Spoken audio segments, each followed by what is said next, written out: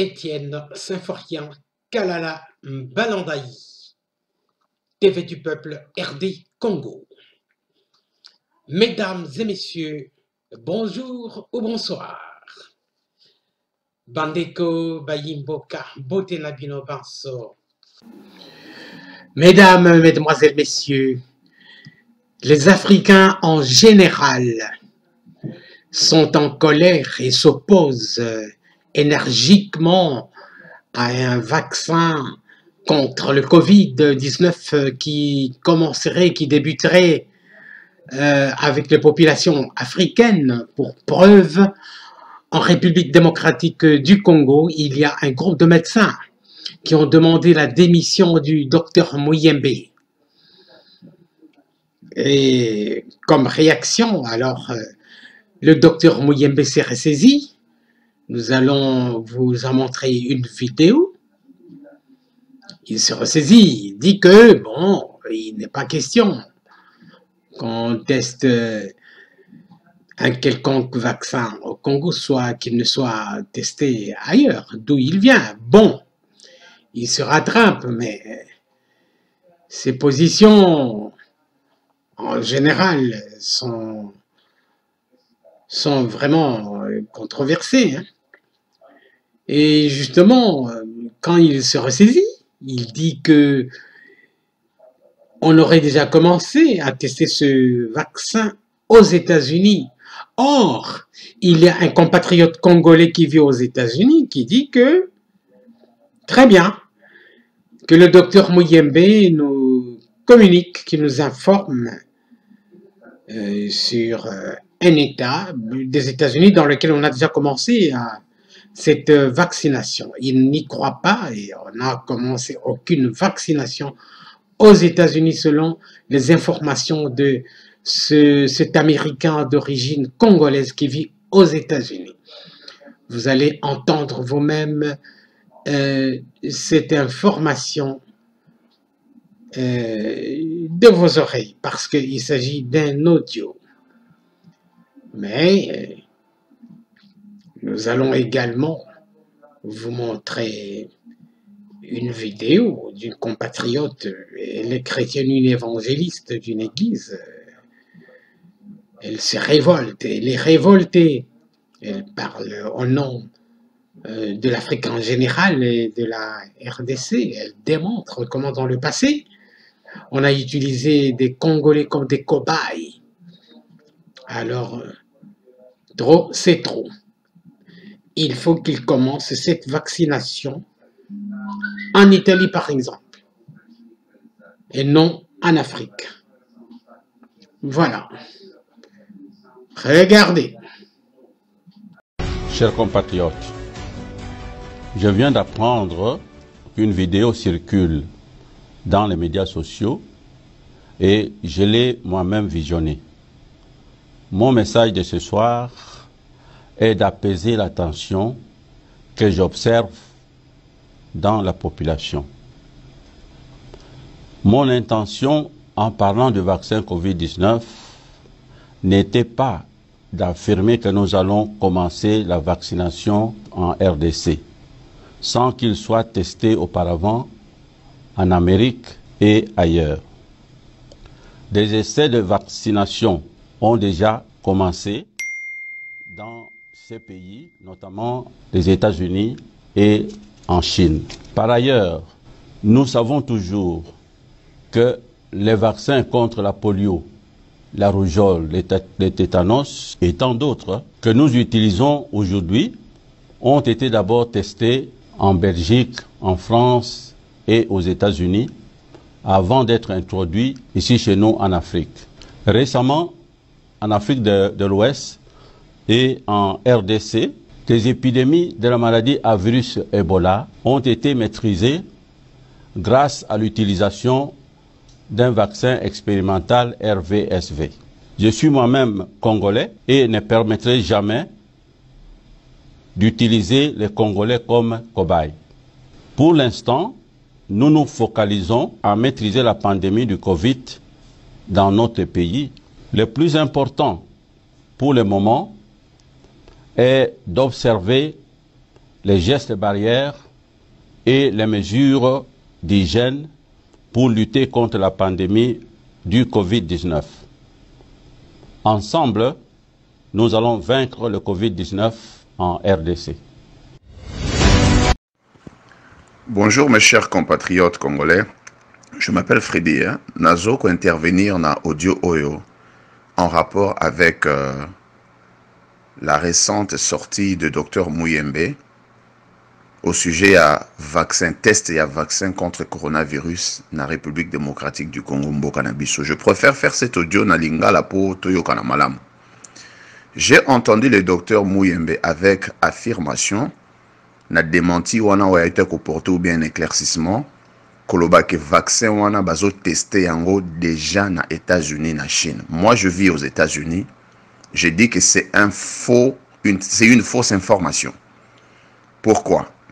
Président Trump tous les jours na task force oyo adirijaka apesaka biso rapport ya évolution ya coronavirus na bamécanisme nyonso bazozwa mpona kolutter contre maladie là. On en a on, il n'a pas encore parlé du vaccin ni ba organisme oyo ezali habilité en États-Unis à l'instar ya FDA na CDC ils n'en parlent même pas Docteur Mouyembe avec courage avec audace avec affirmation azoloba ke vaccin wana basi babandi koteste yango na États-Unis. Docteur Mouyembe moi je vais vous poser trois questions. La première ayebisa biso na ville nini États-Unis na état nini États-Unis combien de personnes ont été testées et quels, ont été les résultats à test wana? Soka répondre biso na question wana biso oyo toza awa na États-Unis nous allons mener des investigations auprès des services habilités pour toyeba batu nini bazalaki et quels ont été les résultats. Écoutez docteur Mouyembe ce sont des vies humaines que nous devons sauver. Combien de fois bablague ya je fais vraiment cet audio malgré mes états, mais je me suis dit que je ne dois pas me taire. Parce que zali bomo ya batunde bozo tiango en jeune wana. Faites très attention. Faites très attention. Chers compatriotes bandekonanga ba congolais et sika pi boza na monde entier. N'acceptez pas ce vaccin soki nanu boyebi résultat nango et produire te. soki balobi bakomeka yango na états-unis ou partout ailleurs tozela résultat ya vaccin wana na banzoto ya bato wana ekosala ndenge nini avant ke biso tondima yango docteur mouyembe prenez vos responsabilités. Ici je suis en train de parler eza makambo politique te mais eza bomoi ya nous devons sauver. Trop mpe toza na besoin lisu si vous avez l'occasion de partager cette, vidéo, cet audio faites-le s'il vous plaît nous devons sauver les nôtres trop c'est trop. Merci. Chers frères africains, je viens devant vous aujourd'hui pour vous faire passer un message. Et comme des millions d'Africains, je viens exprimer un ras-le-bol général. Oui, c'est vrai que tous ne pouvons pas prendre la parole, parce qu'il y en a qui sont privés justement de cette prise de parole. Mais quand nous pouvons le faire, faisons-le. Ça peut nous aider. Ça peut nous fortifier. Et donc cette vidéo a pour but d'aider un Africain quelque part où tu te trouves, dans un coin du monde, à comprendre qui tu es et surtout à te fortifier. Cette vidéo est surtout pour bannir ce complot, cette théorie de la peur qu'une fois encore les colons mettent en place pour tuer davantage d'Africains. Nous sommes passés par des multiples choses et nous avons survécu. Et donc, ce qui nous arrive aujourd'hui, nous survivrons, chers Africains. Nous vaincrons. On nous parle d'épidémie, on nous parle de pandémie, on nous parle même de guerre. Mais laissez-moi vous dire que nous ne sommes pas seulement en guerre, nous les Africains. Nous sommes en deuil. Nous sommes en deuil. Nous sommes en deuil depuis des siècles. Depuis que les colons ont mis leurs pieds sur notre continent. Depuis que nous avons été colonisés. Depuis qu'on nous a volé ce qui nous appartenait. Depuis que des gens mal intentionnés ont compris la valeur du continent africain. C'est depuis ce jour-là que nous sommes en deuil. C'est depuis ce jour-là que l'Africain, l'homme noir, meurt. Nous mourrons depuis des siècles. Nous mourrons à petit feu, mais nous mourrons en masse.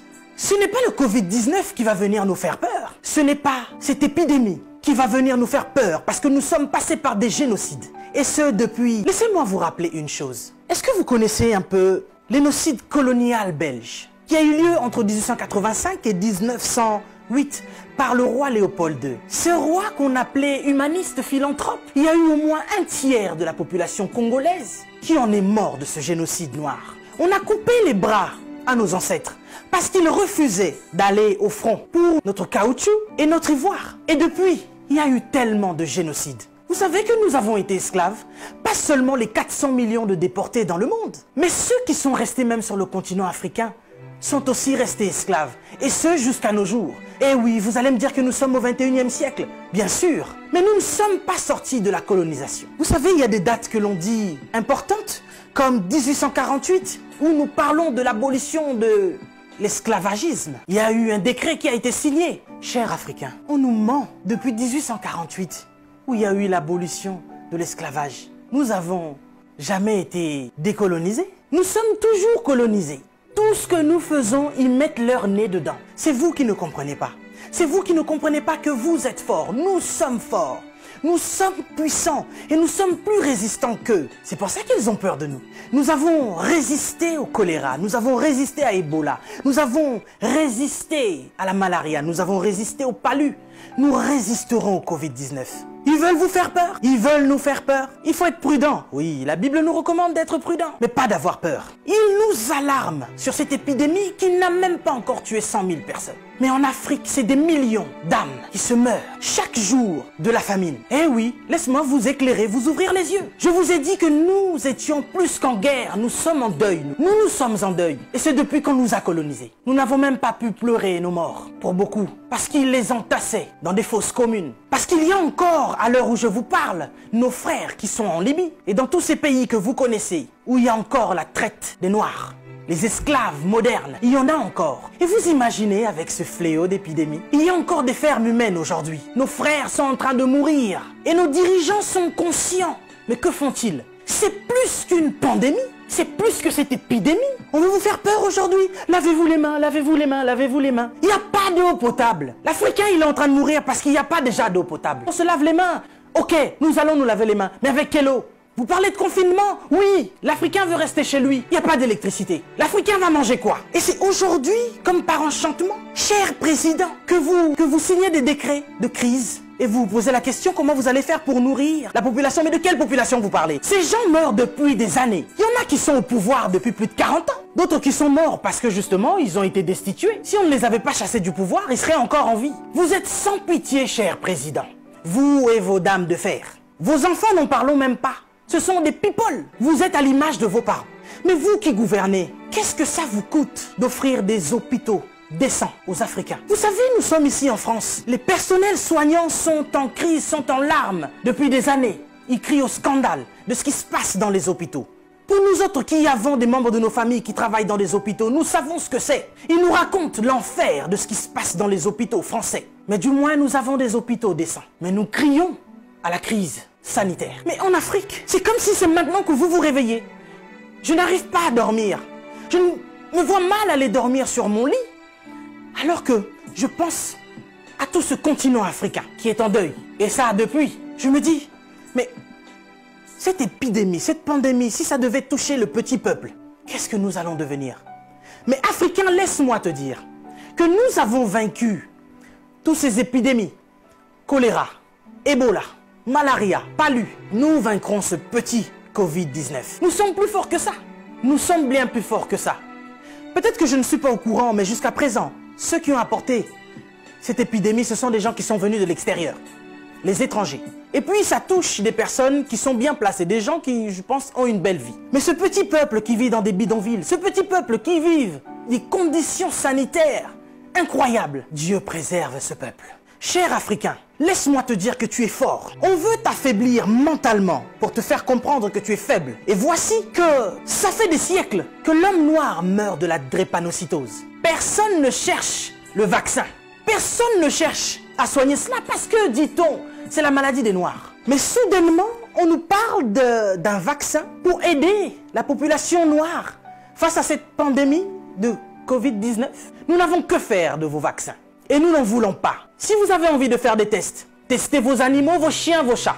L'homme africain n'est pas un animal. Nous ne sommes pas des cobayes de vos labos pour que vous commenciez vos tests sur nous. Ça fait des siècles que vous nous testez. Ça fait des siècles que vous nous faites souffrir. Depuis que vous avez découvert que le continent africain était le jardin d'Éden, vous ne voulez pas nous lâcher. Nous souffrons, mais nous sommes en train d'enrichir plusieurs. Nous mourrons de faim, alors que nous nourrissons plusieurs. Quelque chose m'a fait rire il y a quelque temps. 23 Italiens retrouvés clandestinement sur un port nigérian. Ah, depuis quand l'Italien rentre clandestinement au Nigeria? Parce que vous voulez aller vous réfugier en Afrique maintenant? Il n'y a pas très longtemps, sur vos côtes, vous chassiez les migrants de vos côtes. Votre Premier ministre a dit qu'il ne voulait plus. Il en, il en avait marre de cette invasion africaine sur ses sols.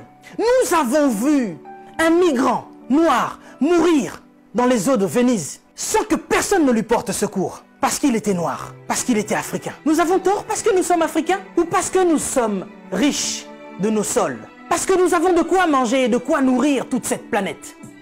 C'est pourquoi l'Africain souffre. Mais Africain, laisse-moi te dire que tu es fort. Laisse-moi te dire que tu es vaillant. Laisse-moi te dire qu'il en faudra beaucoup plus pour te vaincre.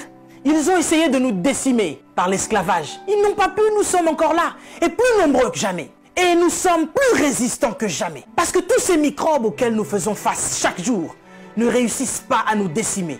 Ce n'est pas un Covid-19 qui va décimer le peuple noir. N'ayez pas peur, tel est mon message.